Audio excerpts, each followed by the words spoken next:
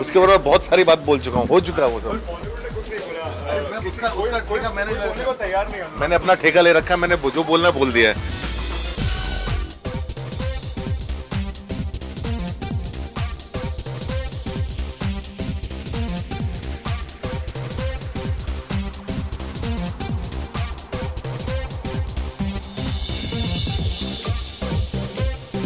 Hero के लिए।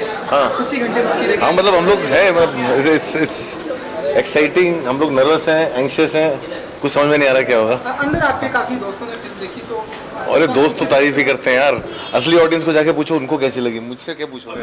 मेरी फ़िल्म है मैंने बनाई है। सलमान की कंट्रोवर्सी में बॉलीवुड ने बोला उसके बारे में बहुत सारी बात बोल चुका हूँ हो चुका है वो सब। बॉलीवुड ने कुछ नहीं बोला। उसका उसका मैंने मैंने अपना ठेका ले रखा है मैंने जो बोलना बोल दिया है। मैंने दुनिया का ठेका नहीं लिया सॉरी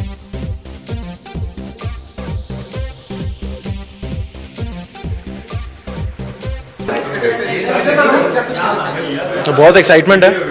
बहुत अभी तक जिनको भी दिखा रहे हैं, उनको बहुत पसंद आ रही है। जो रिव्यूज़ आ रहे हैं ट्विटर पे, वो बहुत अच्छे आ रहे हैं तो नर्वसनेस है एंग्जाइटी है बट बहुत एक्साइटमेंट है।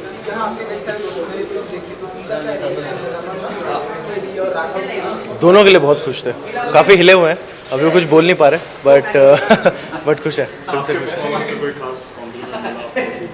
बस कोई मतलब फ़ोटो खिंचाने साथ में आ, रहा- आ नहीं रहा था डर रहे थे काफ़ी तो वो आई थिंक उन्हीं को डर लग रहा था कि आपसे डर लग रहा है आप सामने मत आइए तो मैंने कहा ओके थैंक यू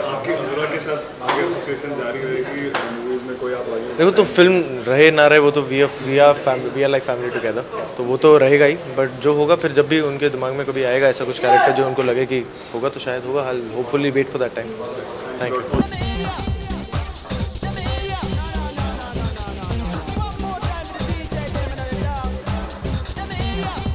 ट्रिपी है अगर एंजॉय करना चाहते हैं फ़िल्म को आप आएँगे तो एंजॉय करेंगे। सर कितने एक्साइटेड हैं सर आप फ़िल्म को लेकर मैं तो बहुत एक्साइटेड हूँ यार।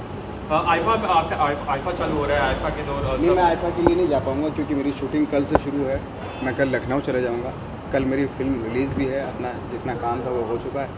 तो कल से बैक टू पवेलियन कल से शुरू हो जाएगा। Thank you